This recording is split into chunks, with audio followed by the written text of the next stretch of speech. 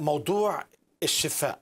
وانت طبعا أكيد بتتكلم من خبرة كراعي كنيسة كنيسة أنهار الحياة. بتشوف كل نوعيات الناس وناس عندها أمراض. بنشوف إنه البعض بيشفى والبعض يعني كما يبدو أو يظهر إنه لا يشفى.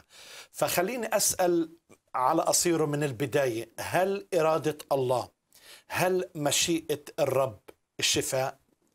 هو السؤال ده محوري جدا وأساسي في الموضوع كله. ولو قدرنا إننا نحط أساس سليم حسب كلمة الله ده بيخلي الأمور بعد كده سهل إننا نشوف ونستقبل من الرب. هل مشيئة الرب الشفاء أم لا؟ علشان أجاوب السؤال دوت محتاج أحط أساس وأفهم عمل الرب يسوع.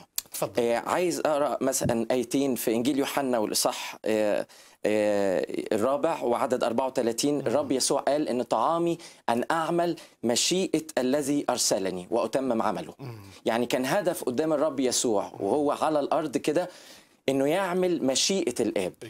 فنقدر نعرف مشيئة الرب إزاي؟ إننا نشوف الرب يسوع كان بيعمل إيه على الأرض واللي كان بيعمله على الأرض دوت بيشهد عن مشيئة الذي أرسله اللي هو الآب السماوي.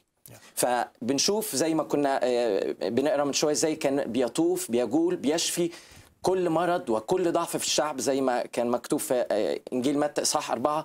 فالرب كان بيخرج الشياطين بيشفي المرضى بيكرز ببشاره الملكوت. فهي دي نقدر نقول إن ده مشيئة الآب السماوي.